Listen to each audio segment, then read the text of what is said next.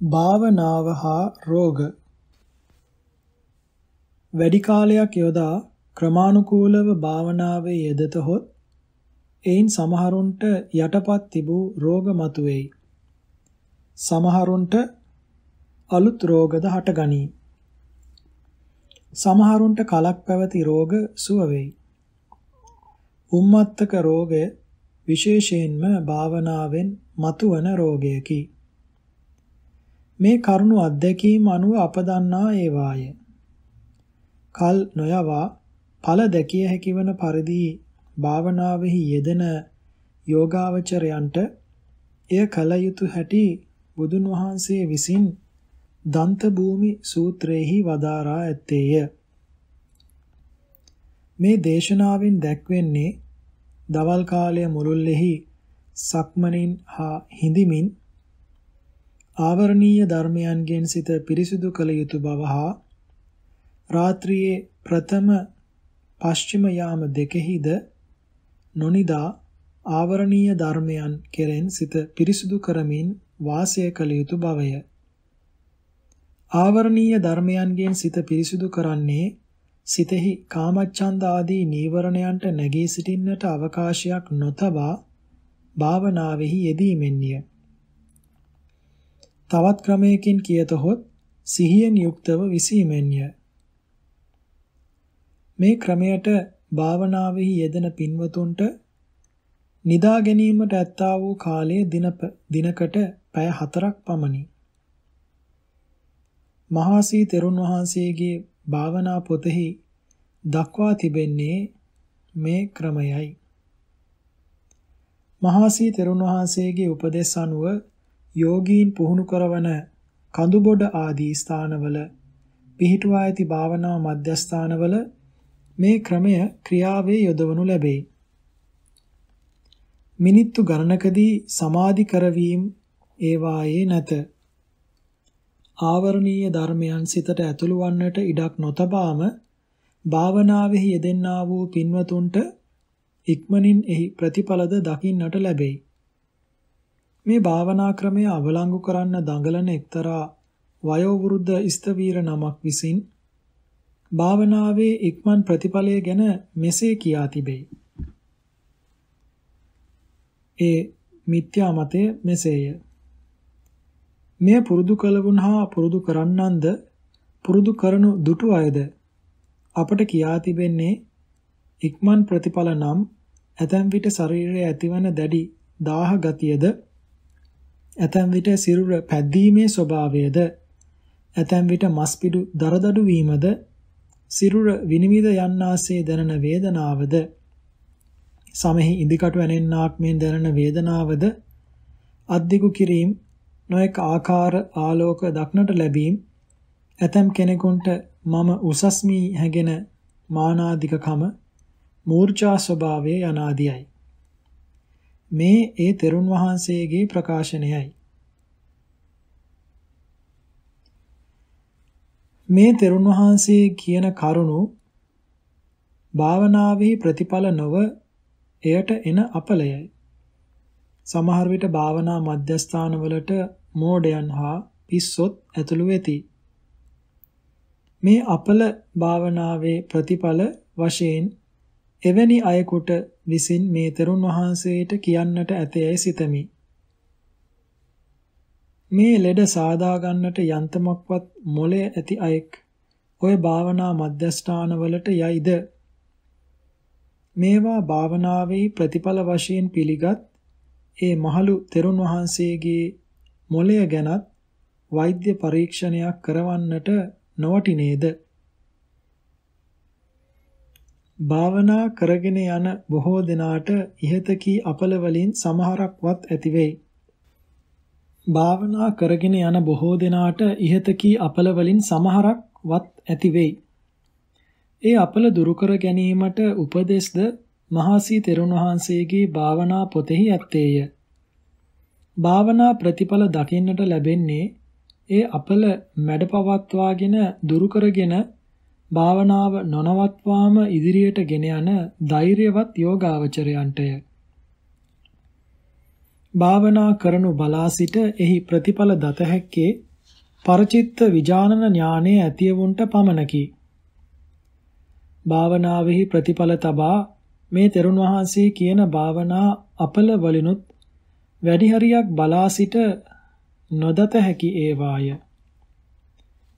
භාවනා කරන තැනැත්තාට ඇතිවන ශරීර දාහය මස්පිඩු දරදඬු වීම සිරුර විනිවිද යන්නාසේ දැනෙන සෝභා වේදනාව සමෙහි ඉදිකටු අනින්නාක් මෙන් දැනෙන වේදනාව නොඑක ආකාර ආලෝක දක්නට ලැබීම මම උසස්මිය කියා ඇතිවන මාන අධිකම යන මේවා භාවනා කරනු බලා සිට කෙසේ දත හැකිද? මේවා භාවනා පුරුදු කරනවා බලා සිටි අය මේ තෙරුන් වහන්සේට කීවාය යනු ගජ බින්නයක් නොවේද?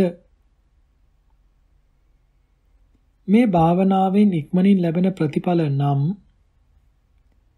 කාමච්ඡන්දාදී නීවරණයන්ට තමාගේ සිතට ඇතුළු වන්නට ඉඩ නොතබා දවස මුළුල්ලේම සිහියෙන් යුක්තව හිඳ උදර මාංශයේ හැකිලීම් පිම්බීම් දෙක බලමින්ද සිටින්නා වූ යෝගාවචරයන්ට උදර මාංශ චලන අනුසාරයෙන් පඨවි ආපෝ තේජෝ වායෝ යන මහා ධාතු හතර පරමාර්ථයෙන්ම ප්‍රකට වීම. මේ රූපත් ඒවා අරමුණු කරන සිත් પરම්පරාවත් හැර ආත්මය කියා අන් කිසිවක් නැති බව ප්‍රත්‍යක්ෂ වීම. ශරීරේ රූප ඉපිද ඉපිද බිනි බිඳී යන හැටි ප්‍රත්‍යක්ෂ වීම. ඒවා අරමුණු කොට නාම ධර්ම ඉපිද ඉපිද බිනි බිඳී යන හැටි ප්‍රත්‍යක්ෂ වීම. නාම රූප ධර්ම නිතරම බිනි බිඳී යාම දුකක් බව ප්‍රත්‍යක්ෂ වීම. නාම රූප ධර්ම ඒ ඒ හේතුන්ගෙන් ඇති වී බිඳී යනවා මිස ඒවා කිසිවුගේ කැමැත්තේ හැටියට නොපැවැත්විය හැකි බව ප්‍රත්‍යක්ෂ වීම. සංස්කාරයන් පිළිබඳ වූ නিত্য සුඛ සුබ සංඥාවන් බොහෝ දුරට තුනී වී යාම කෙලස් තුනී වී යාම යනාදියයි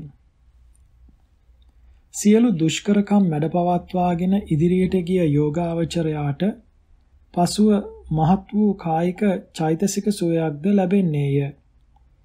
එය මේ භාවනාවේ ආනිසංසයකි. කියන ලද පරිදි දිනකට 4 පැයක් පමණ නිදාගනිමින් දින ගණනක් භාවනාවෙහි යෙදීම එතරම් ලෙහෙසි වැඩක් නොවේ. ඒ ක්‍රමයට යෝග කර්මය පවත්වාගෙන යා හැක්කේ පදානියාංග පසකින් යුක්ත වන අයට පමණකි. තථාගතයන් වහන්සේ මජ්ක්‍ධිම නිකායේ බෝධිරාජ කුමාර සූත්‍රයේහි පදානියාංග පහක් වදාරා තිබේ.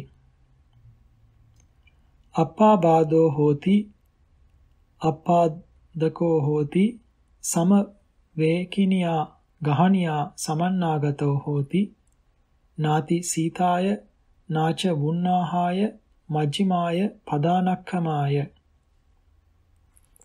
යනුවෙන් දැක්වෙන්නේ එහි දෙවැනි අංගයයි. ආබාධ නැති, ලෙඩ නැති, ඊතා සීතද උෂ්ණද නො වූ සමව ආහාර පැසවීම කරන භාවනාව සඳහා කළ යුතු වීරයට ඔරොත්තු දෙන මධ්‍යම ප්‍රමාණයේ බඩගින්න ඇති පුද්ගලයෙකු වන බව ඒ දෙවන පදානියාංගයයි. නිතර ලෙඩ සෑදෙන ස්වභාවය ඇති දුබල අය මේ යෝග කර්මයට ඔරොත්තු දෙන්නෝ නොවේති. වීරය කළහොත් ඔවුන්ට ඇති පරණ රෝග මතුවන්නේය. අලුත් රෝගද ඇතිවන්නේය.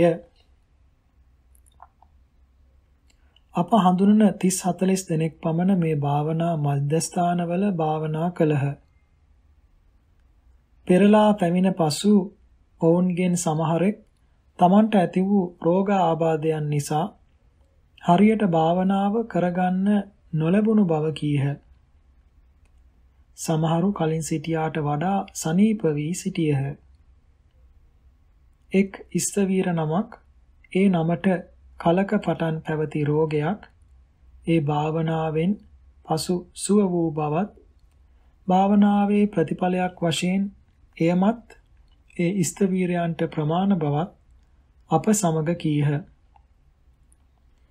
සමහරුන්ට යම් යම් අපහසුකම් ඇතිවීම භාවනා ක්‍රමයේ වරදක් නොව ඒ ඒ අයගේ ශරීරවල සිත්වල වරදය මහසී තෙරුන් වහන්සේගේ ක්‍රමය අනුව භාවනා කොට කලින් සිටියාට වඩා ශාන්ත බවට පත්ව මහත් සතුටක් ලබාගෙන සිටින ගිහි පැවිදි බොහෝ දෙනෙක් මේ රටේ වෙසෙති.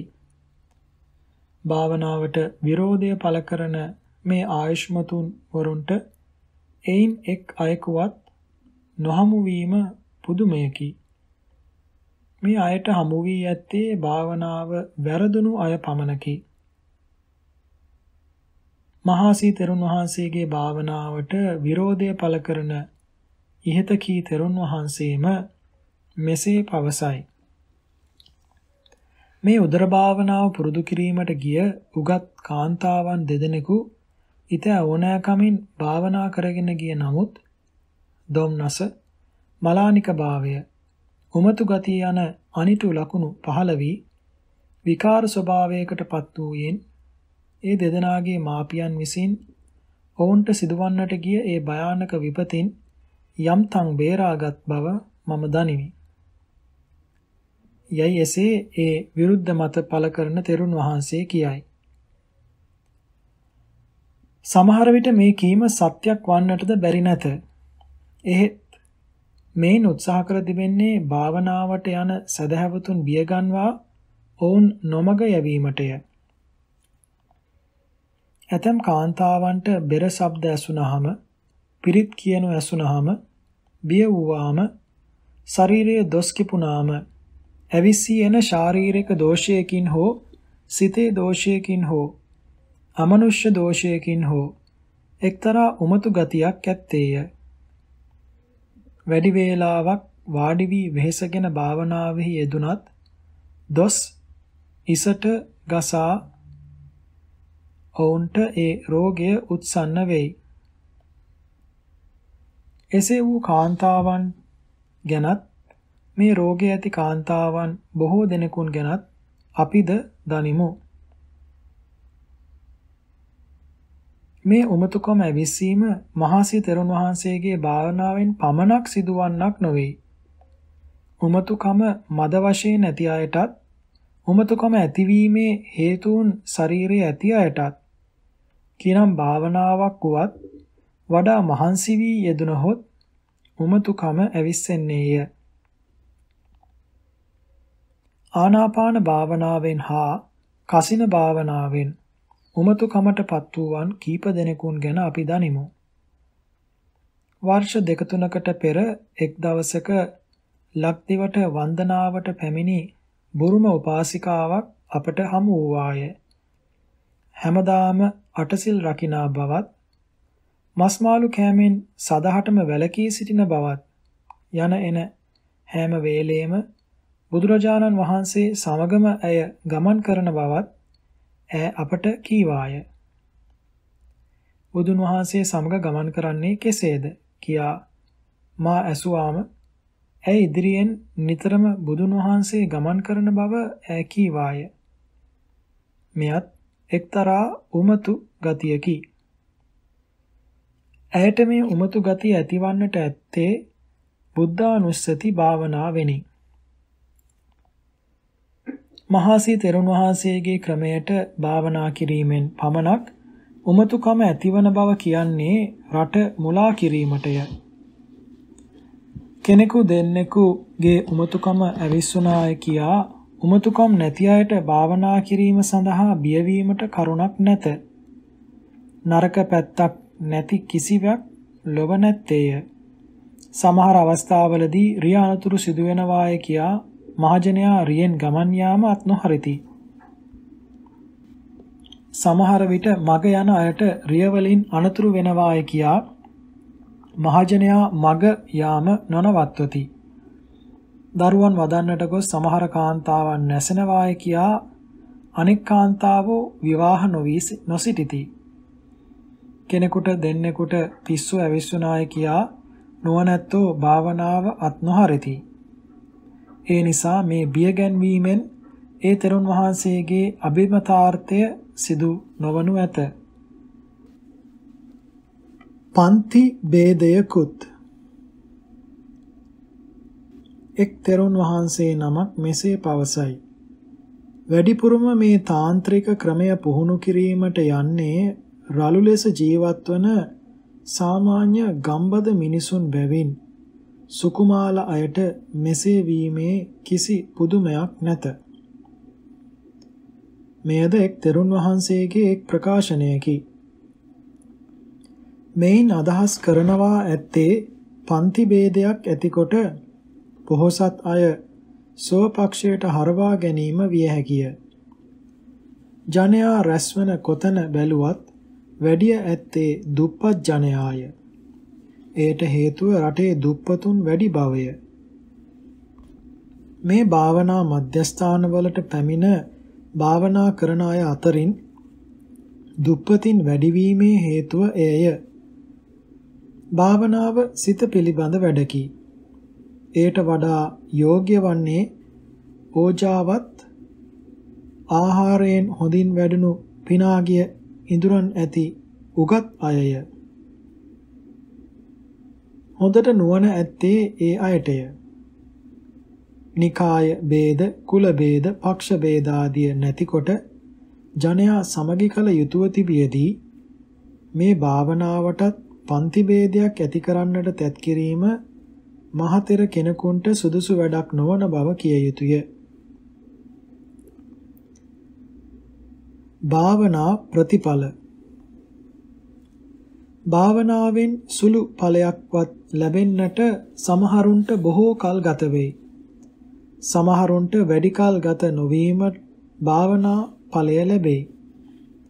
සමහරුන්ට ඵලයක් නොලබාම ලදිමු යයි වර්ධි හැඟීම ඇති වෙයි.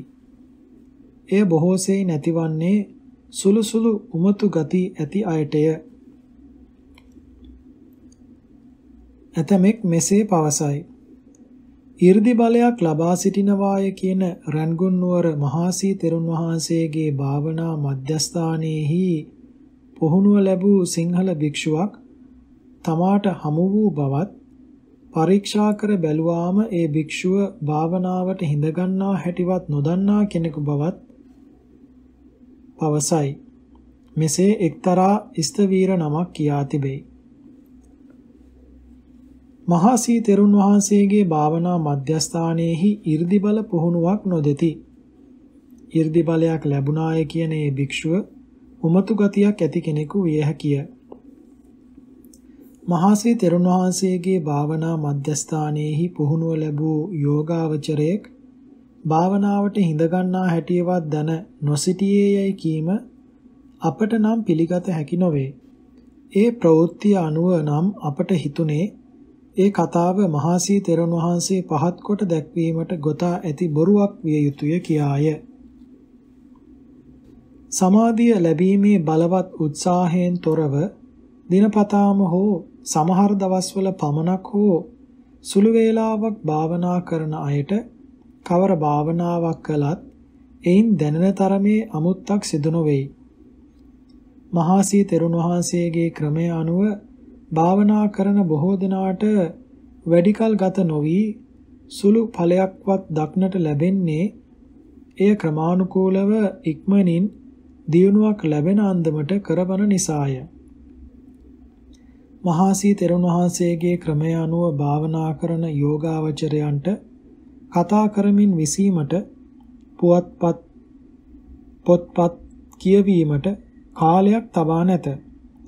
කෑම, බීම, නෑම, මුහුණ සේදීම, අත්පා සේදීම, යාම් ඊම් ආදී සෑම දෙයක්ම ඒ භාවනාවට සම්බන්ධ කොට ඇත්තේය. යෝගාවචරයාට හිස් කාලයක් ඇත්තේ නිදන කාලය පමණකි. එසේ භාවනා කරන තැනැත්තාගේ සිතට නීවරණ ධර්මයන්ට පැමිණීමට ඉඩක් නැත්තේය. භාවනා ඵලය ඉක්මනින් ලැබෙන්නේ ඒ නිසාය. හොඳට භාවනා කළහොත් ධාන මාර්ගඵල සංඛ්‍යාත උසස් ඵල නොලැබුණත් කාහට වුවත් යම් කිසි ඵලයක් වැඩිකල් නොගොස් ලැබෙන්නේය. සතර සතිපට්ඨාන භාවනාවෙන් ඒ ඒ පුද්ගලයාගේ තත්වයේ හැටියට හත් අවුරුද්දේ පටන් හත් දවස දක්වා ඒ ඒ කාලයන්හි ඵල ලැබෙන බව මහා සතිපට්ඨාන සූත්‍රයේහි වදාරා තිබේ. ඒ සූත්‍රයේහි භාවනා ඵලය ලැබීමේ අන්තිම කාලය හත් දවස හැටියට වදාරා ඇත්තේ හත් දිනකින් මොබ භාවනා ඵලය නොලැබෙන නිසා නොවේ. ඒ බව බෝධිරාජ කුමාර සූත්‍රයෙන් ඔප්පු වෙයි. සත් දිනකින් මොබ භාවනා ඵලයේ ලැබීමක් ඇති බව තථාගතයන් වහන්සේ වදාරා ඇති බවක් නොදන්නා එක්තරා ආයුෂ්වතුන් වහන්සේ නමක් තමාගේ සුළු දැනුම නිසා මානෙන් මත්ව මහාසී තෙරුන් වහන්සේට නිඳා කරන අටියෙන් ප්‍රකාශනයක් කර තිබේ. එය මෙසේය. තථාගතයන් වහන්සේගේ සතිපට්ඨාන භාවනා ක්‍රමය පුහුණු කිරීමෙන් ප්‍රතිඵල ලබාගත හැකි අඩුම කාලය සද්දවසක් තුලදී යයි දේශනා කොට තිබේ. එහෙත් මේ මහා ස්තවීරයන් වහන්සේගේ භාවනාවෙන් පස් දිනකින් උදයබ්බේ ඥානය ලබාගත හැකි බව ප්‍රකාශ කිරීම මේ මහා ස්තවීරයන් වහන්සේගේ බුද්ධ ඥානයත් ඉක්මවා ගිය අසදෘශ ඥානය ගැන දැන ගැනුම ගැන කදිම නිදසුනක් නොවේද? මේ ඒ උඩඟු ආයුෂ්මතුන්ගේ ප්‍රකාශනයයි. භාවනා ඵලය ලැබීමේ කාලය බුදුන් වහන්සේ බෝධිරාජ කුමාර සූත්‍රයේ වදාරා ඇත්තේ මෙසේය. දේශනාවෙන් දැක්වෙන්නේ තථාගතයන් වහන්සේ නැමැති අනුශාසකයෙකු ලදහොත් පදානියාංග පසින් යුක්තවන භික්ෂුව හත් දවසකින් නොව සය දවසකින් පස් දවසකින් හතර දවසකින් තුන් දවසකින් දෙදවසකින් එක් දවසකිනුත් අරහත්වයට පැමිණෙන බව හා සමහර විට හවස ගුරුකම් දුන්නාම උදේ වන විටත් උදේ ගුරුකම් දුන්නාම හවස වන විටත් විශේෂ අධිගමනය කරන බවය. එක් රාත්‍රියකින් එක් දවාලකින් වුවද සමහරුන් භාවනා ඵලය ලබන බව බුදුන් වහන්සේ වදාරා ඇති බව දැන්වත් දැනගන්න. මේ බෝධිරාජ කුමාර සූත්‍ර දේශනාව නැතද පස් දිනකින් උද්‍යප්පේ ඥානය ලබාගත හැකි යන කියමනේ ඇති වරදක් නැත. යෝහි කෝචි භික්කවේ ඉමේ චත්තාරෝ සතිපට්ඨානේ එවං භාවෙය්‍ය සත්තාහං තස්ස ද්වින්නම් පලානං අඤ්‍යතරම් පලං පාටිකංකං දිත්තේව ධම්මං අඤ්ඤා සතිවා උපාදිසේසේ අනාගාමිතා යනුවෙන් සතිපට්ඨාන සූත්‍රයේහි සතියකින් ලැබෙන බව වදාරා ඇති භාවනා ඵලය උදයබ්බේ ඥානය නොව අනාගාමී ඵලය හා අරහත් ඵලයයි. උදයබ්බේ ඥානය වනාහි අරහත් ඵලවලට ගව් ගණනකින් මොබ ඇති ඥානයකි. සතිපට්ඨාන සූත්‍ර දේශනාවේ එන හැටියට සද්දිනකින් අනාගාමි අරහත් ඵලයේ ලැබිය හැකි වීමට උද්‍යප්පේ ඥානය කලින් ලැබිය යුතුය. එය පහළ විදර්ශනා ඥානයකි. උද්‍යප්පේ ඥානය ලැබූ තැනැත්තා විසින් අනාගාමි ඵලයට පැමිණිය හැකි වීමට බංග ඥානය, බය ඥානය, ආදීනව ඥානය, නිබ්බිදා ඥානය, මුංචිතු කම්යතා ඥානය, පටිසංඛා ඥානය, සංඛාරුපෙක්ඛා ඥානය, සෝතාපට්ටි මග්ග ඥානය, සකදාගාමි මග්ග ඥානය යන ඥාන නමය ලැබිය යුතුය. උද්‍යප්පේ ඥානය මහා සතිපට්ඨාන සූත්‍රයේ හත් දිනකින් ලැබෙන ඵල හැටියට දේශනා කර ඇති අනාගාමීත්වයට ඊතා පහළ ඥානයක් බැවින් පස් දිනකින් නොව පළමුවන දිනේම ලබනවාය කීවත් එහි ඇති වරදක් නැත. මේ ආයුෂ්මතුන් වහන්සේලා අනුන්ගේ දේවල් විවේචනය කරන්නට ඉදිරිපත් වන්නේ මෙතරම් දෙයක් ගැනවත් දැනුම නැතිවය. නොදන්නා දේ ගැන බොරු පළකොට මහජනයා මුලා කිරීම ඉමහත් පාපයකි. උතුමන්ට ගරහා කිරීමත් එබඳුම පාපයකි. සමාධිය හා ශරීර පාලනය ශරීරය පාලනය කරන්නේ සිතෙනි. වාඩි වී ඉන්නා කෙනෙකු නින්දට වැටුණොත් ඒ තනත්තාගේ හිස පසෙකට ඇලවි යන්නේය. සම්පූර්ණ ශරීරයම හෝ ඇලවි යන්නේය. සමහර විට කටින් කෙලත් වැగిරෙන්නේය. සමහර විට මහ හඬින් ආශ්වාස ප්‍රාශ්වාස කරන්නටත් වන්නේය. මේවා සිදුවන්නේ නින්දෙහි සිටින අවස්ථාවෙහිදී ශරීරය පාලනය කරන ඉරියව් සකස් කරන සිත් ඇති නොවන බැවිනි. බොහෝ වේලාවක් එක් ඉරියව්වකින් හිඳ භාවනා කරන තැනැත්තාගේ සිත වෙහෙසටපත් වී දුබල වන්නේය. ඒ දුබල සිද්ද ශරීරය පාලනය කිරීමට අසමත් බැවින් එබඳු අවස්ථාවලදීද යෝගාවචරයන්ට ඉහත කී දේවල් සිදුවන්නේය. සමහර විට වෙහෙසටපත් වූ යෝගාවචරයන්ට වාඩි වී සිටියදීම භාවනා සිත් ඉපදීම නැවතී භවාංග සිත්ම ඇතිවන්නට පටන් ගනී. එබඳු අවස්ථාවලදීද යෝගාවචරයන්ගේ ශරීරවල ඉහතකී ලකුණු පහළ වෙයි. සමහර විට වෙහෙසටපත් යෝගාවචරයෝ වාඩි වී සිටියදීම නින්දට නින්දට වැටති. එබඳු අවස්ථාවලදී ඉහත කී ලකුණු පහළ වෙයි.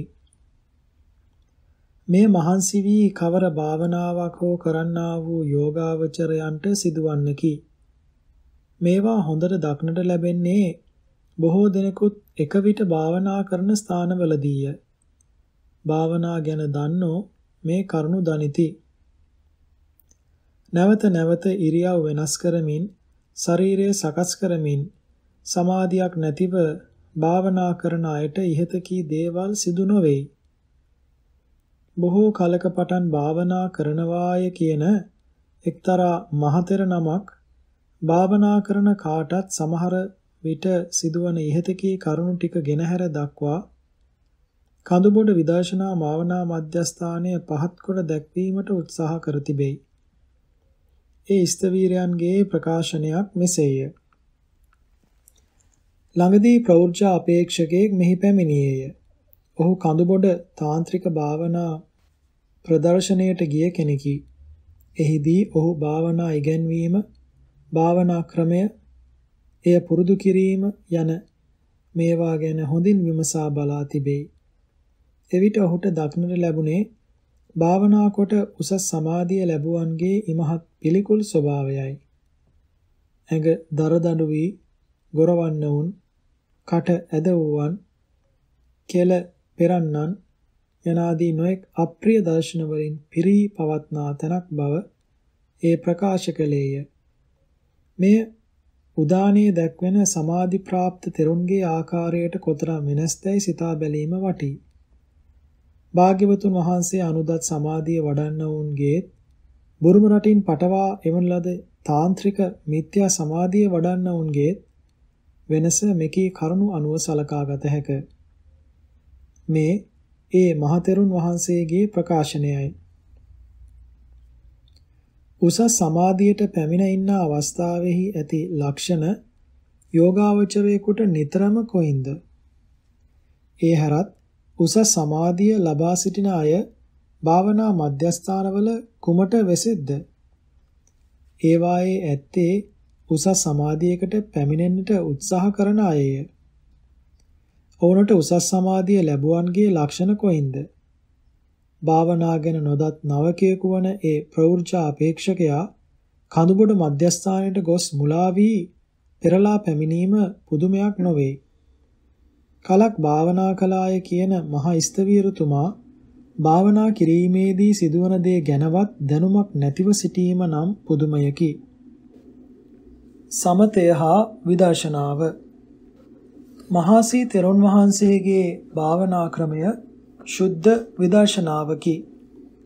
ඒ භාවනා මාර්ගයට විරුද්ධත්වයේ පළ කරන ඇතැම්හු සමතෙන් තොර විදර්ශනාවක් මේ ශාසනයෙහි නොලැබෙන බවත් සමතෙන් නීවරණ විස්කම්බනය නොකොට විදර්ශනා වඩන්නට නොපුළුවන් බවකුත් කියති. එය තහවුරු කිරීමට ඔවුහු පෙළ අටුවා පාට කැබලි දක්වමින් ඒවා විනය වර්ධන කාර්යයන් තෝරන ආකාරයෙන් තමන්ට වාසිවන හැටියට තේරුම් කරති. සමතෙන් නීවරණ විස්කම්බණය නොකොට විදර්ශනා වැඩිය නොහැකිය කියා ත්‍රිපිටකයේ කොතනකවත් සඳහන් වී නැත. අටුවා ටීකාවලද කොතනකවත් සඳහන් වී නැත. සමතෙන් නීවරණ විස්කම්බණය නොකොට විදර්ශනා වැඩිය නොහැකිය. යයි ඔවුන් කියන්නේ ඉරිසියාව නිසා හෝ සමත විදර්ශනා දෙක නොහඳුනන නිසා හෝ විය හැකිය. සමතේ යනු සමාධියයි. එනම් සමත විදර්ශනා භාවනා කරන්නා වූ සිත්වල යෙදෙන ඒකාග්‍රතා චෛතසිකයයි. විදර්ශනා යනු සාමාන්‍ය ජනයාගේ දැනීම ඉක්මවා විශේෂයෙන් දන්නා විශේෂයෙන් දක්නා ප්‍රඥාවයි. තවත් ක්‍රමයකින් කියතොත් ප්‍රඥාප්තිය ඉක්මවා පරමාර්ථ නාම රූප ධාතුන් දක්නා ප්‍රඥාව විදර්ශනාවයි. අනිත්‍ය ආදී ලක්ෂණ පෙනෙන ලෙස රූප වේදනා සංඥා සංඛාර විඥාන යන පරමාර්ථ ධර්මයන් නැවත නැවත බැලීම විදර්ශනා භාවනාවයි. ආස්වාස ප්‍රාස්වාස ආදී යම්කිසි ප්‍රඥාප්තියක් නැවත නැවත සිහි කිරීම සමත භාවනාවයි. සමත භාවනාවෙන් සමාධිය පමණක් දියුණු වේ. විදර්ශනාව එහි නොලැබේ. සමත භාවනා චිත්තය ඥාන සංප්‍රයුක්ත වුවද ප්‍රඥප්තිය අරමුණු කරන ඒ ඥානය විදර්ශනාව නොවේ. විදර්ශනා චිත්තය සමාධියෙන් තොරව ඇතිවන්නක් නොවේ. සෑම විදර්ශනා චිත්තයකම සමාධිය ඇත්තේය. එබැවින් විදර්ශනා කරන යෝගාවචරයන්ට විදර්ශනා ඥානයත් සමග සමතයයි කියන සමාධියද වැඩෙයි. විදර්ශනා ඥානයේ ප්‍රතිෂ්ඨාව විදර්ශනා චිත්ත සංප්‍රයුක්ත සමාධියයි.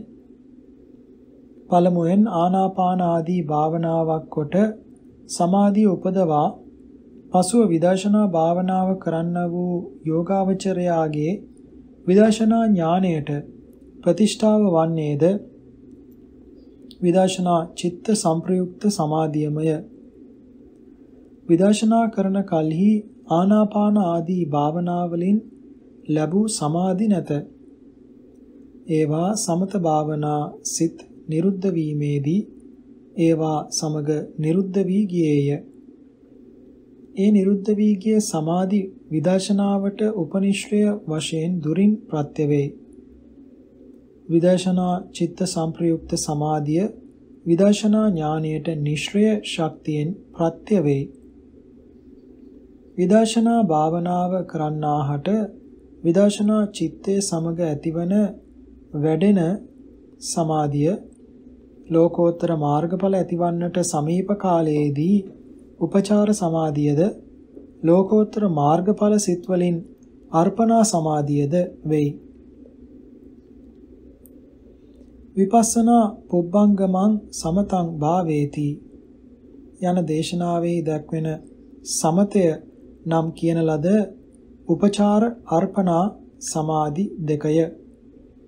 සමත භාවනාවක් නොකොට විදර්ශනාව නොකල හැකි බව කියන ඉස්තවීරතුමා ඒ පාඨය තෝරා ගන්නට ගොස් ඒ පාඨයෙන් දැක්වෙන විපස්සනාව යම්කිසි විපතක් වැනි අවස්ථාවකදී අනිච්ඡං යයි කීමට හෝ සිතීමට පුරුදු වී සිටීමය යයි කියා තිබේ. එයත් විදර්ශනාවක්ද? එබඳු විදර්ශනා නම් හරක් හොරුන් අතරත් ඇත. ඒ ඉස්තවීරතුමා ස්ව මතය ස්ථීර කිරීමට පකතියා විපස්සනා ලාභී විපස්සනාය තත්වා යනාදී මනෝරත පූර්ණී අටුවා පාඨය විනය වර්ධන කාර්යයන්ගේ න්‍යාය අනුව තේරුම් කර තිබේ. භික්ෂූන් වහන්සේලා බුදු පියාණන් වහන්සේගේ දායාදය ලබාගත යුත්තෝය. තථාගතයන් වහන්සේගේ දායාදය පිළිබඳව උන්වහන්සේ විසින් දේශිත සූත්‍ර ධර්මයක් ඇත්තේය. එයට ධර්ම දායාද සූත්‍රය යයි කියනු ලැබේ. එය සියලුම භික්ෂූන් වහන්සේලා විසින් දැනගත යුතු සූත්‍රයකි. විපස්සනා භාවනාව නොමගට තෝරන මේ ස්තවීරතුමා ධර්මදායද සූත්‍රයවත් දන්නා හැඩක් නැත. විපස්සනා පුබ්බංගම සමතය මනෝරත පූර්ණේහි දක්වා තිබෙන්නේ ඊතා කෙටියෙනි. ඒ නිසා මනෝරත පූර්ණී පාඨය ඕනෑ අතකට හරවා තෝරා ගන්නට පුළුවන්.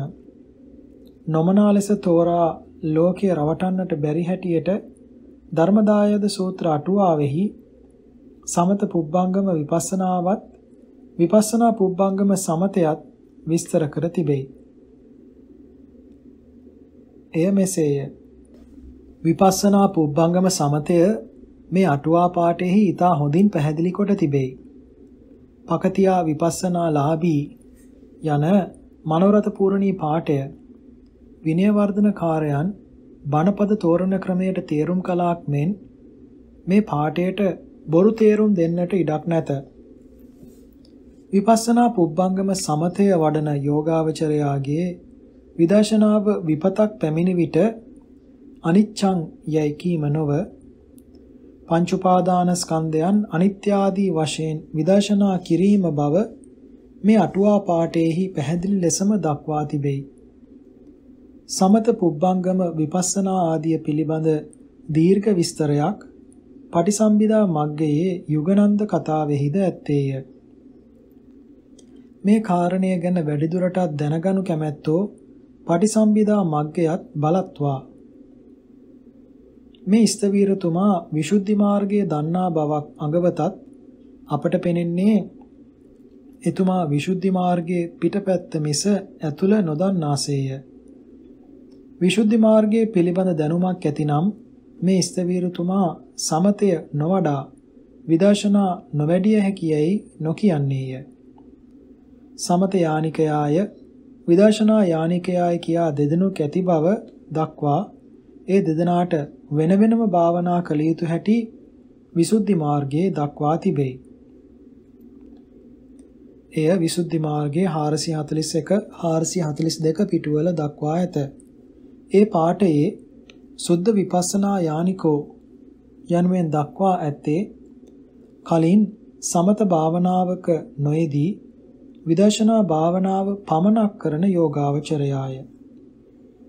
මේ කාරණය මේ ස්තවීරතුමාට මොනම විදියකින්වත් බොරු කරලා තෝරන්නට බැරිවන හැටියට විසුද්ධි මාර්ග ටීකාවෙහි විස්තර කර තිබේ. එය මෙසේය. එසේ පටිසම්භිදා මග්ගේ හා අටුවා ටීකාවල ඊට පැහැදිලි ලෙස දක්වා ඇති මේ කරුණු ගැන බොරුවක් ප්‍රචාරය කිරීම නොදැන නොදැනීම නිසා කළත් පාපයකි.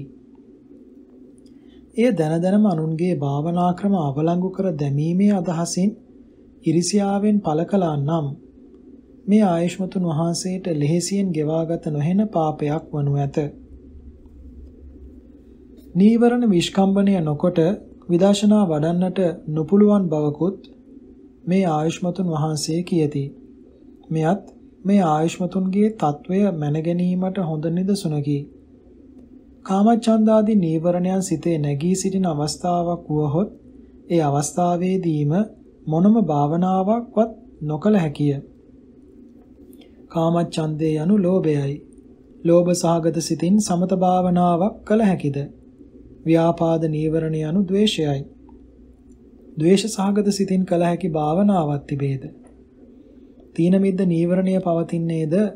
ලෝභ සහගත වූද? ද්වේෂ සහගත වූද? සසංකාරික සිත්වලය. ඒ සිත්වලින් කරන භාවනාවක් තිබේද? උද්දච්ච කුක්කුච්ච විචිකිච්ඡා යන මේවා යෙදෙන්නේ අකුසල් සිත්වලය. ඒ සිත්වලින් කරන භාවනාවක් තිබේද? මේ ස්තවීරතුමා අදහස් කරනවා ඇත්තේ නීවරණ තිබියදී විදර්ශනා භාවනාව නොකළ හැකි වූවත් සමත භාවනාව කළ හැකිය කියාය. යම් තමවත් භාවනාවක් කර ඇතිනම් කාමච්ඡන්දාදිය නැගී ඇති අවස්ථාවල භාවනා නොකළ හැකි බව තේරුම් යා යුතුය. මේ ස්තවීරතුමාට මෙය නොවැටහෙන්නේ කවදාවත් භාවනාවක් කර නැති නිසා විය හැකිය. පෙනේද රටට භාවනා උගන්වන්න තැත් කරන අයගේ තරම තථාගතයන් වහන්සේ විසින් ඇතැම් සූත්‍රවලදී සමත පුබ්බංගම විපස්සනාව දේශනා කර තිබේ. ඇතැම් සූත්‍රවලදී ශුද්ධ විදර්ශනාව දේශනය කර තිබේ. ශුද්ධ විදර්ශනාව දැක්වෙන සූත්‍ර සිය ගණනක් සංයුක්ත නිකායේ ඇත. ශුද්ධ විදර්ශනාවෙන් අරහත්වයට පැමිණි බොහෝ දෙනෙකුන්ගේ නම් සංයුක්ත නිකායේ සඳහන් වී ඇත්තේය. සමත පුබ්බංගම විපස්සනාව නිවන් යාමේ දීර්ඝ මාර්ගයයි. එය බොහෝ පින් නැති උසස් පුද්ගලයන්ට පමණක් සුදුසු මගයි. ශුද්ධ විදර්ශනාව නිවන් ලැබීමේ කෙටි මගයි. සාමාන්‍ය පුද්ගලයන්ට සුදුසු මග එයයි. ඒ මග ඇවිරීමට උත්සාහ කිරීම ඉමහත් පාපයකි. බුද්ධ දේශනාවට අනුකූල බව. උදරේ පිම්බීම හැකිලිම පිළිබඳ වූ සතිපට්ඨාන භාවනාව යථා යථා වා පනස්ස කායෝ පනිහිතෝ හෝති. තථා තථා නං පජානාති. කායංච පජානාති. පොට්ටබ්බේච පජානාති.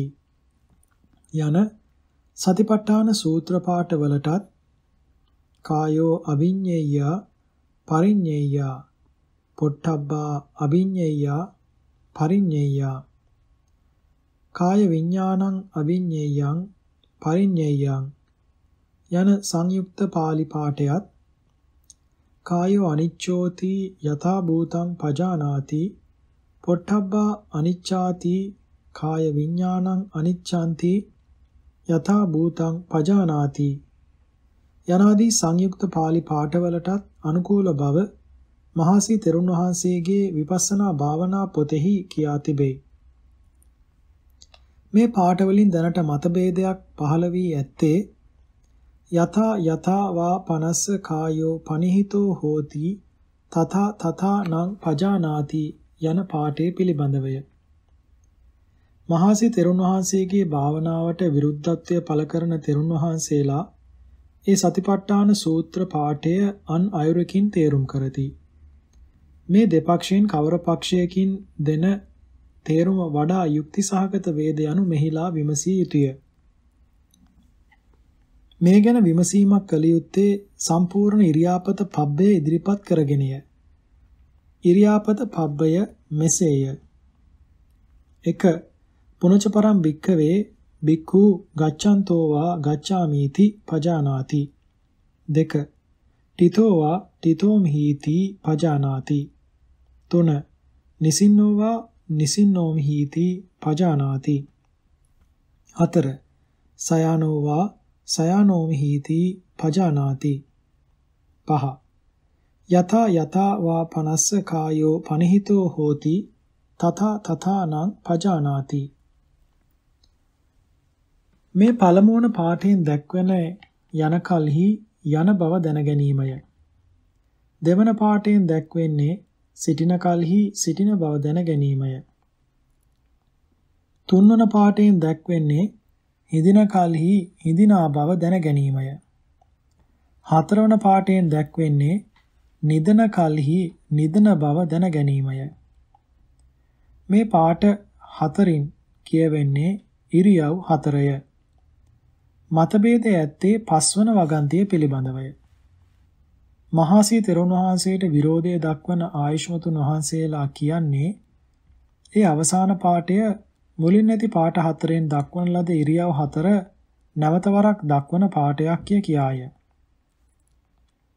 මේ ආයුෂ්මතුන් වහන්සේලාට මෙහිලා මතක් කර දිය යුත්තක් නම් අමෝඝ වචනා ජිනා යන තථාගත වචනයයි. එහි තේරුම බුදුන් වහන්සේලා හිස් වචන පලක් නැති වචන නැත්තෝය යනුයි.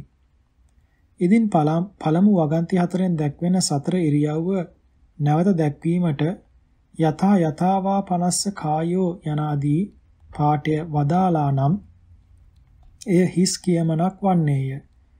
කියන ලද කරුණ නැවත නැවත කීමෙන් පළක් නැත.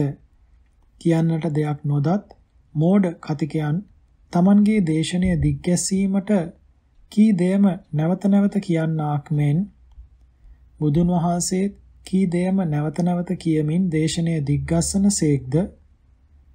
මේ ගැන මේ ආයුෂ්මතුන් වහන්සේලා කියන්නේ කුමක්ද?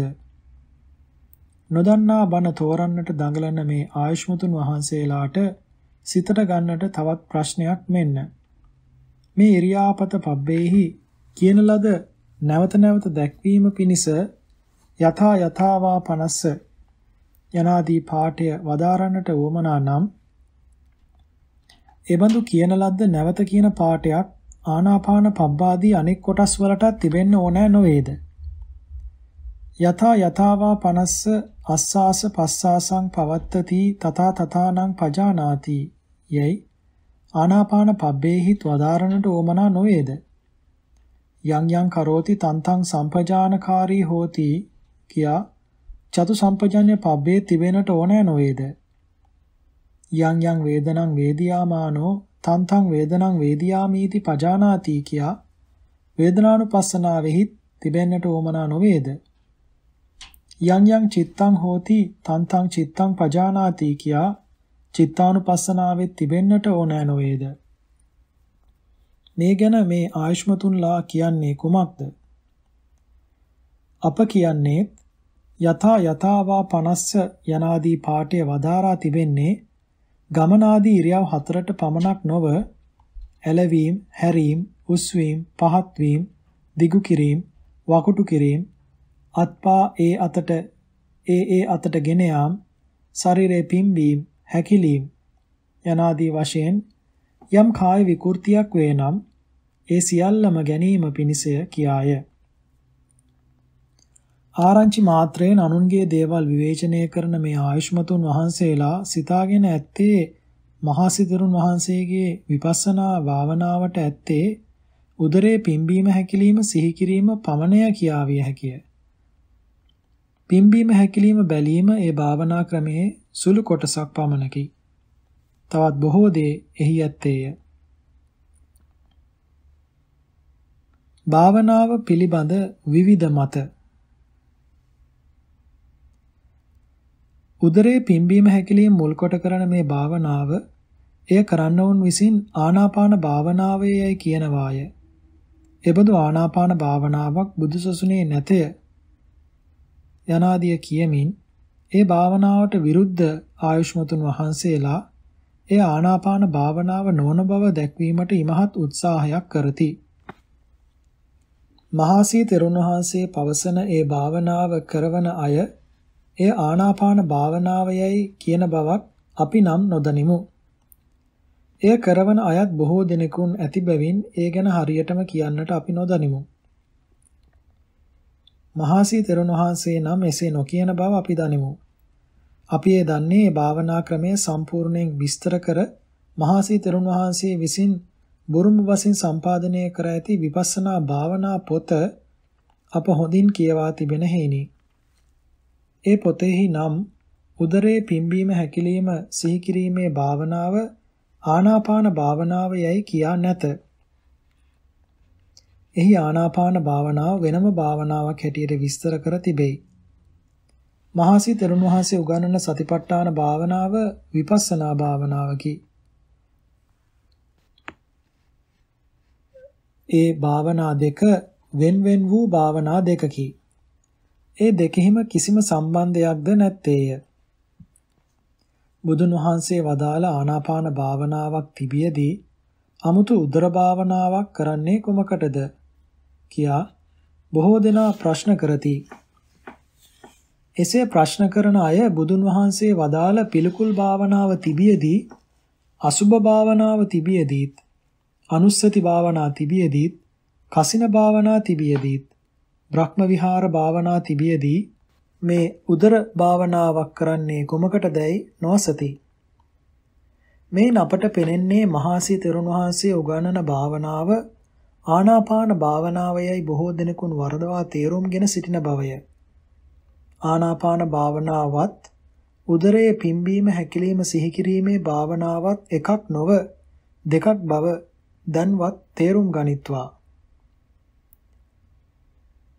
උදරයේ පිම්බීම හැකිලිම පිළිබඳ වූ මේ සතිපට්ඨාන භාවනාව නාභි මණ්ඩල භාවනාවය යන නම තබා එය අබෞද්ධ තාන්ත්‍රික භාවනාවක් හැටියට හඳුන්වා ලොව මුලා කිරීමටත් මේ ස්තවීරවරු උත්සාහ කරති. ශරීරය කපා බැලුවත් පියවියසින් දැකිය නොහෙන යෝගීන්ගේ නුවණසට පමණක් පෙනෙන චක්‍ර වගයක් ශරීරයේ ඒ ඒ තන්වල ඇති හැටියට Hindu යෝගීහු සලකති.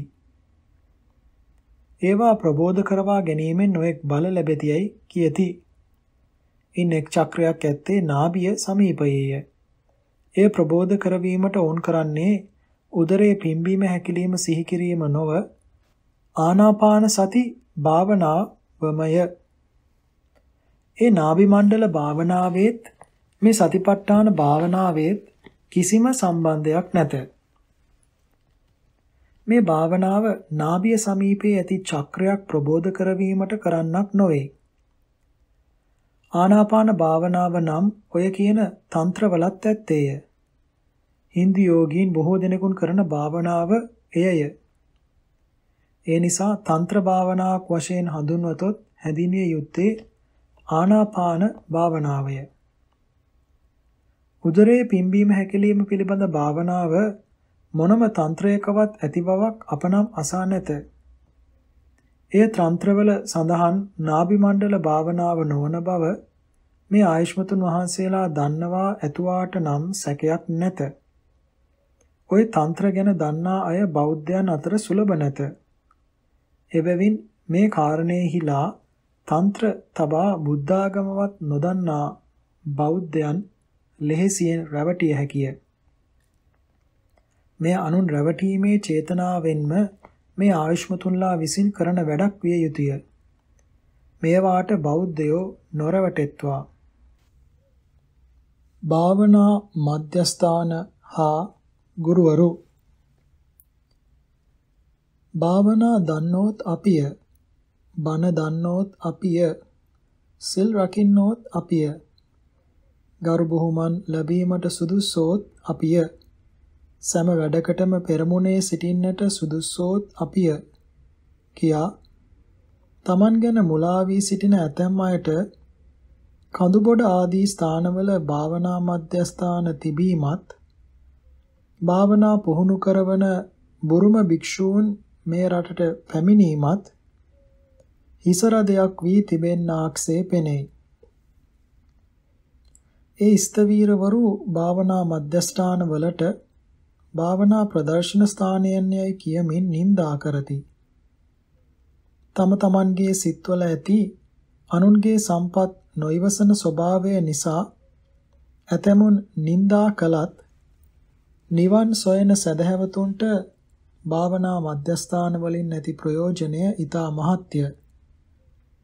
මෙලොව දීම භාවනාවෙන් යම්කිසි ඵලයක් දැකිය හැකි වීමට නම් බුදුරජාණන් වහන්සේ වදාරා ඇති පරිදි නිදන කාලයේ හැර ඉතිරි සම්පූර්ණ කාලයේ හිම නීවරණයන් කෙරෙන් සිත පිරිසුදු කිරීම වශයෙන් භාවනාවෙහි යෙදිය යුතුය.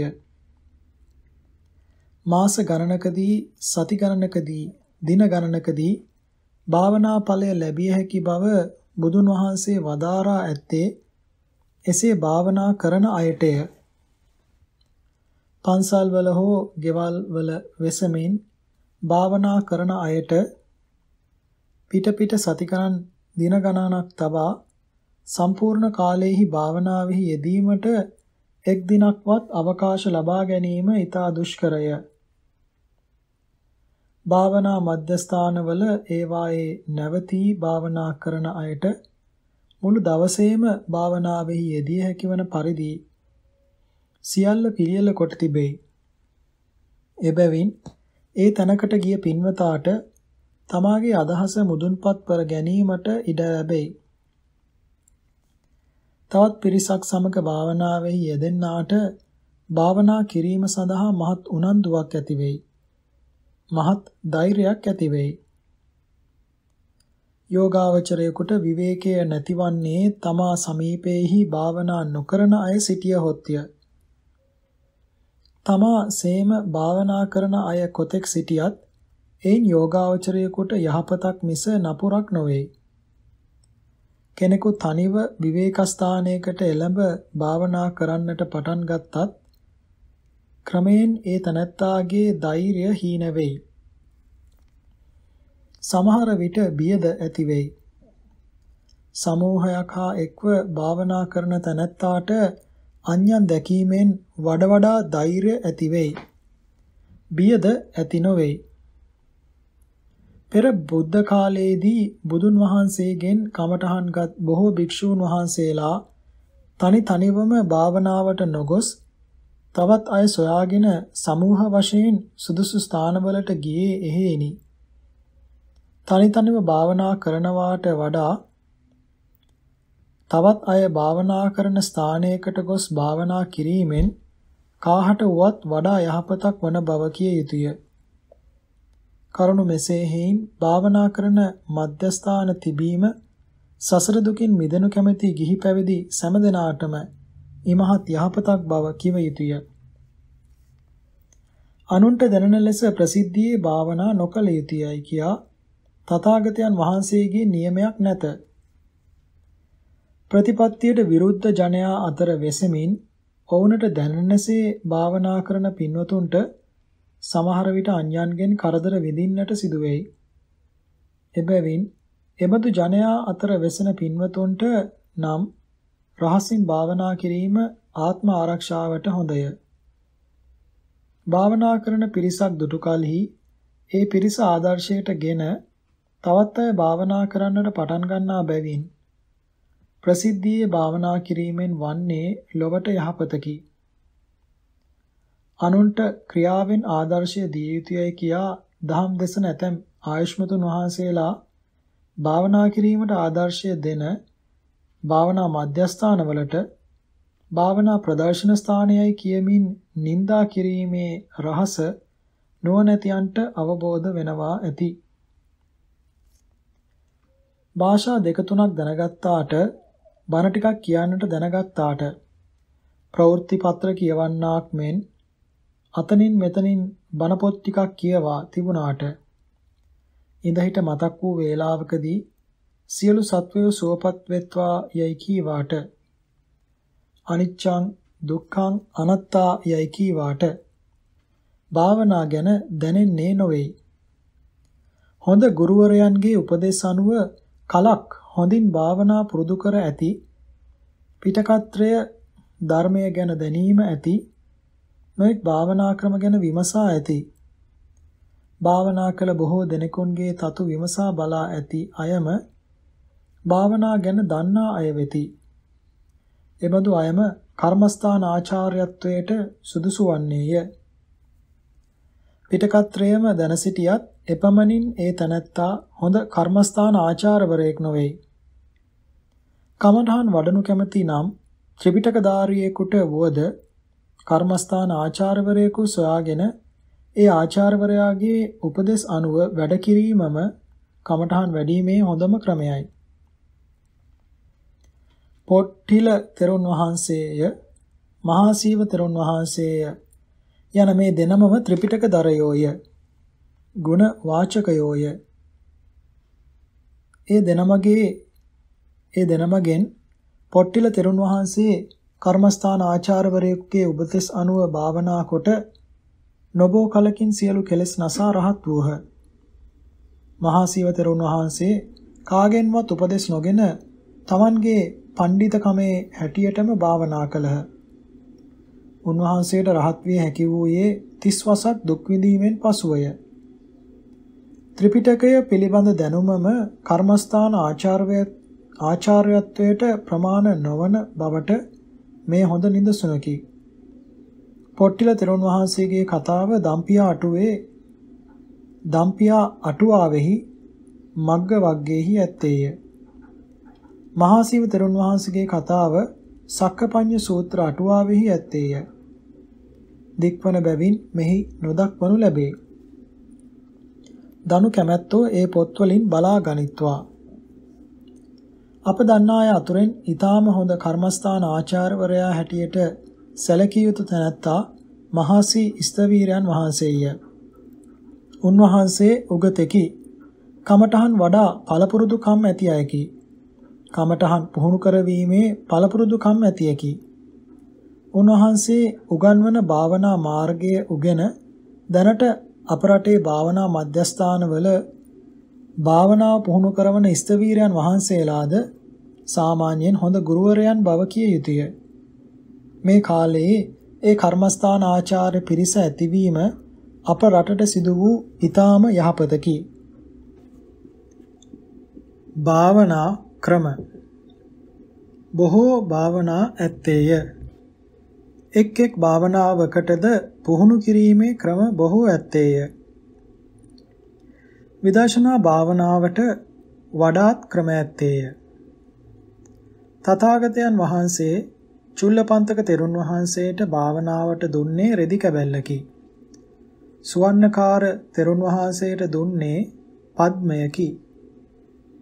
බුදුන් වහන්සේ වෙත පැමිණ කමඨහන් ඉල්ලූ ඒ ඒ භික්ෂූන්ට තථාගතයන් වහන්සේ විසින් දුන් නොඑක් ක්‍රමවල කමඨහන් දැක්වෙන සූත්‍ර බොහෝ ගණනක් සංයුක්ත නිකායෙහි ඇත්තේය. විසුද්ධි මාර්ගයේහිද විදර්ශනා වැඩිීමේ ක්‍රම ගණනක් ඇත්තේය. ඒ ඒ ආචාර්ය પરම්පලාවල පුරුදු කරගෙන එන විදර්ශනා භාවනා ක්‍රම බොහෝ ඇත්තේය. සූත්‍රවල එන භාවනා ක්‍රමවලින් බොහෝවක්ම ඒවා අසාගත් තෙරුන් වහන්සේලාට පමණක් සුදුසු ඒවාය. ආචාර પરම්පරාවල එන භාවනා ක්‍රම බොහෝ දෙනාට සුදුසු ඒවාය. ආචාර પરම්පරාවල එන භාවනා ක්‍රම වලින් මහසී තෙරුන් වහන්සේ පුහුණු කරන භාවනා ක්‍රමය ඒ ක්‍රමයට භාවනා කළ බොහෝ දෙනෙකුන් විසින් සතුටක් ලබා ඇති භාවනා ක්‍රමයකි. ඔය බුරුම භාවනා අපට එපාය. අපේ රටේ પરම්පරාගත එනව බුදුන් වහන්සේ වදාළ භාවනා අපි දන්නවා. යැයි භාවනා නොකරන ඇතැමුන් ഘോഷා කරතත් ආරණ්‍ය සේනාසනවල වෙසමින් බොහෝ කල භාවනා කොට සතුටට පත්වීමට තරම් දෙයක් නො වූ බොහෝ භික්ෂූන් වහන්සේලා මත්තේගොඩ පිහිටවා තිබූ භාවනා මධ්‍යස්ථානයටත් කඳුබොඩ භාවනා මධ්‍යස්ථානයටත් ගොස් මහසී තෙරුන් වහන්සේගේ භාවනා ක්‍රමය පුහුණු කරගත් බව අපි දනිමු. මේ භාවනාව ගැන අමාරු වී ඇත්තේ භාවනා නොකරන අයටය. සතිපට්ඨාන විපස්සනා භාවනාව මහසී තෙරුන් වහන්සේ පුහුණු කරවන සතිපට්ඨාන විපස්සනා භාවනාව ශුද්ධ විපස්සනා භාවනාවකි. එය කිරීමේදී උදරේ පිම්බීම හැකිලිම මෙනෙහි කිරීමේ තේරුම් තේරුම බොහෝ පින්වතුන් නොදන්නා බැවින් එය ගැන විස්තරයක් කරනු ලැබේ. තථාගතයන් වහන්සේ බද්දේක රත්ත සූත්‍රවලදී විපස්සනා භාවනාව කළ යුතු අයුරු මෙසේ වදාරා ඇත. 1. අතීතං නාන් වාගමෙය්‍ය නප්පටි කංකේ අනාගතං යදතීතං පහීනං තං අපත්තංච අනාගතං. දෙක. පච්චුප්පන්නංච යෝ ධම්මං තත්ත තත්ත විපස්සති. අසංහීරං අසංකුප්පං තං විද්වා මනුබ්‍රෝහයේ. 3 අජ්ජේව කිච්ඡං ආතප්පං කෝ ජඤ්ඤා මරණං සුවේ. නහි නහිනෝ සංගරං තේන මහසේනේන මච්චුනා 4 එවං විහාරි ආතාපින් අහෝ රත්ත මතං දිතං. තං වේ බද්දේක රත්තෝති සන්තා ආචික්ඛතේ මුනි. මේ ගාථා බද්දේක රත්ත උද්දේශයයි. මේ ගාථා තථාගතයන් වහන්සේ විසින් මිනිස් ලොවදී පමණක් නොව දෙව්ලොවදීත් වදාළ බව බද්දේක රත්‍ර සූත්‍රවල සඳහන් වෙයි දෙව්ලොවදීත් වදාළ බැවින් මේ ගාථා දෙවියන් අතරත් ප්‍රසිද්ධය බද්දේකරද්ද සූත්‍ර ඇත්තේ මජ්ක්‍ධිම නිකායේ උපරිපන්නාසකේය. මේ ගාථාවල තේරුම් නියම සිංහලෙන් කිය යුත්තේ මෙසේය. 1. අතීත සංස්කාරයන් අනුව සිත දුවන්නත් එපාය. අනාගත සංස්කාරයන් පතන්නත් එපාය. යම් සංස්කාරයක් අතීත නම් ඒවා නැතිවිය. අනාගත සංස්කාරයන් දැන් ඇත්තෙත් නැත. දෙක දැනට ඇත්තා වූ සංස්කාරයන්ම ඒවා ඇතිවන ඇතිවන තන්වලදීම විදර්ශනා කරන්න. තෘෂ්ණා දෘෂ්ටීන් විසින් අදගත නොහෙන පරිදි කිලිටි කළ නොහෙන පරිදි වර්තමාන සංස්කාරයන් පිළිබඳ විදර්ශනාව දියුණු කළ යුතුය. 3. කරන්නට ඇති දෙය අදම කරන්නට ඕනෑය. හෙට මැරේද යන වග දන්නේ කවුද? මහා සේනා ඇති මාරයා හා අපගේ givisුමක් නැත. 4. අනලසව රෑ දහවල් දෙකෙහි කෙලෙස් නැසීමට වීරිය කරන ඒ යෝගාවචරයා හුදකලා වෙසන යහපත් තැනැත්තායයි ශාන්ත වූ මුනිවරයෝ පවසත්. ඒක රත්ත යන වචනයෙන් කියවෙන්නේ තනිව වෙසන තැනැත්තාය. යෝගාවචරයන් බොහෝ සෙයින් තනිව වෙසන බැවින් ඔවුනට ඒක රත්ත යන නම කියනු ලැබේ. බද්දේක රත්ත යනුවෙන් කියවෙන්නේ යහපත් යෝගාවචරයාය. යහපත් යෝගාවචරයාය කියන්නේ අනලසව රෑ දහවල් දෙකෙහිම භාවනා කරන තැනැත්තාය. දක්වන ලද ගාථාවල පච්චුප්පන්නංච යෝ ධම්මං තත්ත තත්ත විපස්සති යනුවෙන් දැක්වෙන්නේ ඒ ඒ තන උපදිනා වර්තමාන සංස්කාරයන් ඒ ඒ තනදීම ඒ ඒ වේලාවේදීම විදර්ශනා කළ යුතු බවයි. ඒවං විහාරින් ආතාපින් අහෝ රත්ත මතන් දිතං යනුවෙන් දැක්වෙන්නේ අනලසව රෑ දහවල් දෙකෙහිම විදර්ශනා කළ යුතු බවය. මතක් වුණු වේලාවකදී ඉඳහිට කරන භාවනාව ප්‍රමාණවත් නොවන බවද එයින් දත හැකිය. මහසී තෙරුන් වහන්සේ පුහුණු කරවන විදර්ශනා භාවනාව මේ බද්දේකරත්ත සූත්‍ර අනුව පිළියෙල කරන ලද්දකි.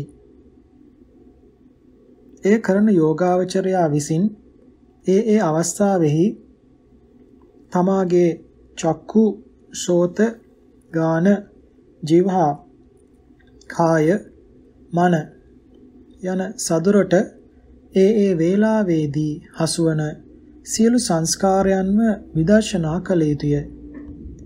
ඇතමුන් ഘോഷා කරන්නේ උදරයේ පිම්බීම හැකිලීම් සිහි කිරීමම මහසී තෙරුන් වහන්සේගේ භාවනා ක්‍රමයේයි වරදවා තේරුම් ගැනීමෙනි. ඒ විදර්ශනාව කරන ක්‍රමය අප විසින් සම්පාදිත පෞරාණික සතිපට්ඨාන භාවනා ක්‍රමය නැමැති පොතෙහි විස්තර කර ඇත. උදරයේ පිම්බීම හැකිලිම සිහි කිරීමත් ඒ විදර්ශනා භාවනා මාර්ගයේ එක් කොටසකි. උදරයේ පිම්බීම හැකිලිම සිහි කිරීම වශයෙන් කරන්නේ කුමක්ද? යන වග තේරුම් ගත හැකි වන්නේ විදර්ශනාවය කියන්නේ කුමකටද යන බව තේරුම් ගත්තාට පසුවය.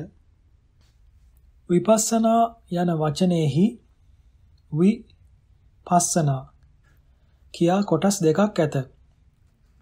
පස්සනා යන කොටසින් කියවෙන්නේ දැකීමය. වි යන්නෙන් කියවෙන්නේ දැකීම පිළිබඳ විශේෂත්වය. කෙස් ලොම් නිය දත් යනාදීන් ඒ ඒ දෙය සිහි කරන්නා වූ තනත්තාගේ මනසට හසුවන්නේ ප්‍රඥප්තියකි. ඒ සාමාන්‍ය දැකීමය. ප්‍රඥප්තිය ඉක්මවා එයට යටින් නැති පඨවි ධාතු ආදී පරමාර්ථ රූප ධාතුන් දැකීම විශේෂ උසස් දැකීමකි.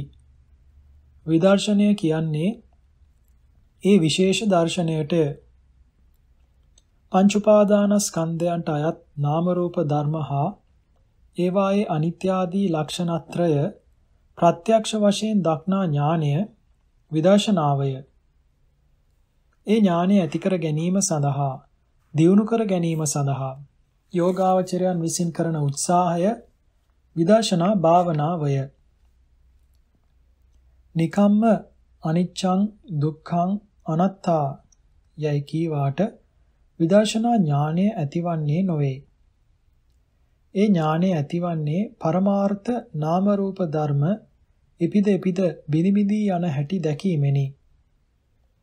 බිනිබිදී යනු දැකීම අනිත්‍ය දර්ශනයයි. ඒ අනුව දුක්ඛ දර්ශන අනාත්ම දර්ශන දෙකද ඇති වෙයි.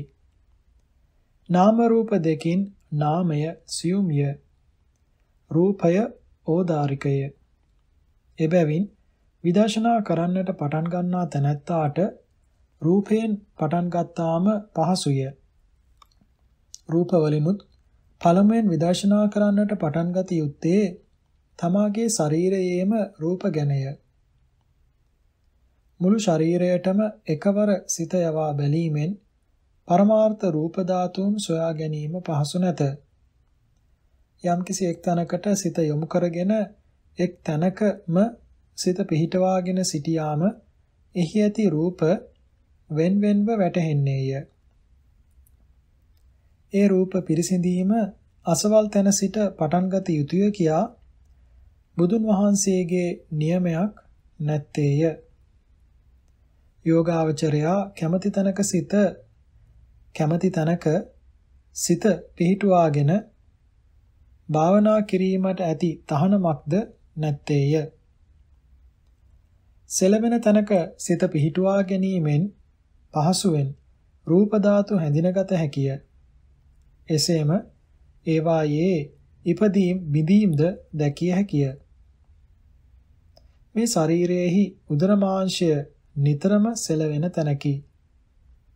එහි සිත පිහිටවා ගැනීමෙන් රූප ධාතුන් හා ඒවායේ ඉපදීම් බිඳීම් පහසුවෙන් දැකිය හැකිය. උදරයේ පිම්බීම හැකිලීම් පිළිබඳ භාවනාව පවත්වන්නේ ඒ නිසාය. උදර මාංශයේහි සිත පිහිටවාගෙන ඉන්නා යෝගාවචරයාට එහි එහා මෙහා යන ස්වභාවය පහසුවෙන් වැටහෙන්නේය. එය වායෝ ධාතුවයි. ඒ එහා මෙහා යන ස්වභාවය හා යම්කිසි තද ගතියක් රළු ගතියක් ඇතිවන බවද දැනෙන්නේය. එය පඨවි ධාතුවයි. ඒවා නොවිසිරෙන පරිදි එකට ඇලී එකට බැඳී ඇති ස්වභාවයක් ඇති බවද දැනෙන්නේය. එය ආපෝ ධාතුවයි. කල්යාමෙන් ඒ උදර මාංශයේ උණුසුම් ගතියක් ඇති බවද දැනෙන්නේය. එය තේජෝ ධාතුවයි. මෙසේ ධාතු හතර දුටු යෝගාවචරයාට ක්‍රමයෙන් එහි ඇති ඉතිරි රූපද පෙනෙන්නට වන්නේය. මෙසේ පරමාර්ථ රූප ධාතුන් දුටු යෝගාවචරයාට ඒ රූප ධාතු හැර උදර මාංශය කියා දෙයක් සත්‍ය වශයෙන් නැති බව වැටහෙන්නේය. උදර මාංශයේ ඉදිරියට යන ස්වභාවය පවත්නා කලෙහි පස්සට යන ස්වභාවය නැති බවත් පස්සට යන කලෙහි ඉදිරියට යන ස්වභාවය නැති බවත් යෝගාවචරයාට වැටහෙන්නේය. එයින් ඔහුට ඉදිරියට යන වායෝ ධාතු අනිකක් බවත් පස්සට යන වායෝ ධාතුව අනෙකක් බවත් වැටහෙන්නේය. ඉදිරියට යන ස්වභාවයක් ඇති විට එය නැති වී ගිය පසු පස්සට යන ස්වභාවයක් ඇති වී නැති වී යන බව ඔහුට පෙනෙන්නට වන්නේය. මේ පෙනීම වායෝ ධාතුව පිළිබඳ වූ උදයබ්බය ඥානයයි. වායෝ ධාතුවේ ඉපදීම් බිඳීම් දෙක පැහැදිලි වූ යෝගාවචරයාට වායෝ ධාතුව හා සම්බන්ධ වී පවත්නා පඨවි ආපෝ තේජෝ ධාතුන්ගේ උපාදාය රූපයන්ගේද වායෝ ධාතුව සමගම ඉපිද ඉපිද බිනිමිදී යන හැටි පෙනෙන්නට වන්නේය. එය උදයබ්බේ ඥානය තවදුරටත් දියුණු වීමකි. මේ සෙලවෙන ස්වභාවය ඇත්තේ උදර මාංශයේහි පමණක් නොවේ. භාවනා නොකල අයට ශරීරයේ අනික් තන්වල චලනයක් ඇති බව නොදැනේ. එහෙත් මේ චලනය ශරීරය සෑමතැනම ඇත්තේය. උදර මාංශයේ සිත පිහිටුවා භාවනා කරන තැනැත්තාට සමාධිය හා ඥානය දියුණුවන්න දියුණුවන්න මුළු ශරීරයම පවත්නා චලනය වැටහෙන්නට වන්නේය. එයින් ඔහුට උතුරන බත්සලියක පෙන බුබුලු නැග නැග පුපුර පුපුරා යන්නාක් මෙන් මුළු ශරීරයේම රූප ඉපිද ඉපිද බිනිබිදී යාම පෙනෙන්නට වන්නේය. රූපයන් පිළිබඳ දර්ශනය පිරිසිදු වූ පසු යෝගාවචරයාට නාම ධර්ම ඉපදෙපිද බිනිබිදී යාමද පෙනෙන්නට වන්නේය. ඉන්පසු ඔහුට සකල සංස්කාරයන් පිළිබඳව වූ සත්‍ය වූ අනිත්‍ය දුක්ඛ අනාත්ම දර්ශනය ඇතිවන්නේය. නාම රූප හැර ආත්ම වශයෙන් පිළිගත යුතු අනිකක් ඒවා අතර නැති බවද ඔහුට ප්‍රත්‍යක්ෂ වන්නේය. විදර්ශනා ඥානය දියුණු කර ගැනීමෙන් ඔහුට සතර මාර්ග සතර ඵලයන්ට පැමිණ දුකින් මිදී නිවන් සැපයට පැමිණිය හැකි වන්නේය. කියන ලද දර්ශන මද වේලාවක් උදරයේ පිම්බීම හැකිලිම සිහි කළ පමණින් ඇති වෙද්දයි වරදවා නොගත යුතුය. මේ උතුම් විදර්ශනා භාවනා මාර්ගයය. Tamanගේ නොදැනීමම පඬිතකම හැටියට වරදවා තේරුම්ගෙන සිටීම නිසා හෝ මේ භාවනා ක්‍රමය පැතිර යාමෙන් Tamanගේ తත්වය පහත් වී යනු ඇතේ යන හැඟීම නිසා හෝ Tamanට දායකයන් අඩු වී යත යන හැඟීම නිසා හෝ මේ පුරුදු කරවන කර්මස්ථාන ආචාර්යවරයන්ට ඇතිවන කීර්තිය නොයිවසිය හැකි නිසා හෝ ඇතමෙක් මෙම උත්තම විදර්ශනා භාවනා මාර්ග වසා දමන්නට තැත් කරති. සසර දුකින් මිදෙනු කැමැති නුවණැත්තෝ එයට නොරැවටි මේ උත්තම භාවනා මාර්ගයෙන් අති උත්තම ලෝකෝත්තර නිර්වාණ ධාතුව පසක් කොට දුකින් මිදෙත්වා.